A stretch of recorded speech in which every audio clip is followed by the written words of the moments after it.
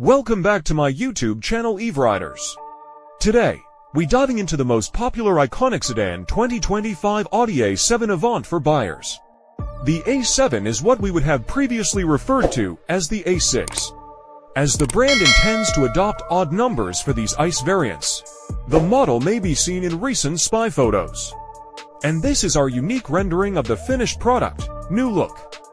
The A7 Avant's front end will appear more pronounced thanks to a bigger single-frame grille with horizontal chrome slats. The vehicle's face is accentuated by sharp LED headlights, and its powerful appearance is further enhanced by the huge air intakes on the corners of the bumper. A LED light strip running the length of the tail is attached to the back. The lamp's outside edges are composed of vertical pieces, other changes. Depending on the market, the A6 Avant currently come with gasoline, diesel, or plug-in hybrid powertrain options. New mild hybrid and plug-in hybrid electric drivetrains are reportedly being added to the A7 sedan and wagon. The RS7 seemed to be testing with a charging connector on the body in spy photos from the previous year. Suggesting it will also be a plug-in hybrid, we don't know anything about the interior of the A7.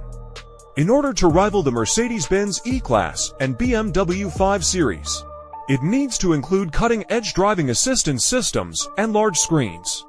It is anticipated that Audi would launch the A7 sedan first, then the Avant. Aside from the wagon's capacity to tow more in the back, the two should have similar cabin arrangements. The MSRP of the 2024 model begins at 70 to 1,000 to $195 with delivery and rises to $80,845 for the prestige trim. There's a chance of a slight rise in inflation.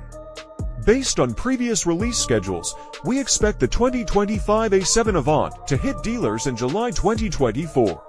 Audi is prepared to leave its imprint with an intriguing new addition to its lineup as automotive technology advances. If you like this video, please put down your comment below, and please like and subscribe, and turn on the notification bell. Visit www.ev-riders.com for EVS and the latest car news. See you later.